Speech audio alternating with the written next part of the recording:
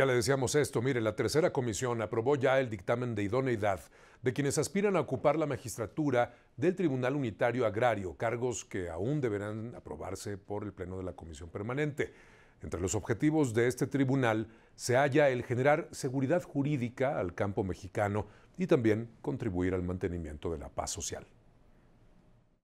Se aprueba el dictamen de la tercera Comisión de Trabajo,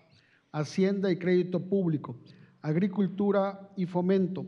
Comunicaciones y Obras Públicas, con punto de acuerdo relativo a las personas propuestas por el ciudadano presidente de la República, licenciado Andrés Manuel López Obrador, para ocupar diversas magistraturas vacantes del Tribunal Unitario Agrario, a efecto de que sean designadas por la Comisión Permanente.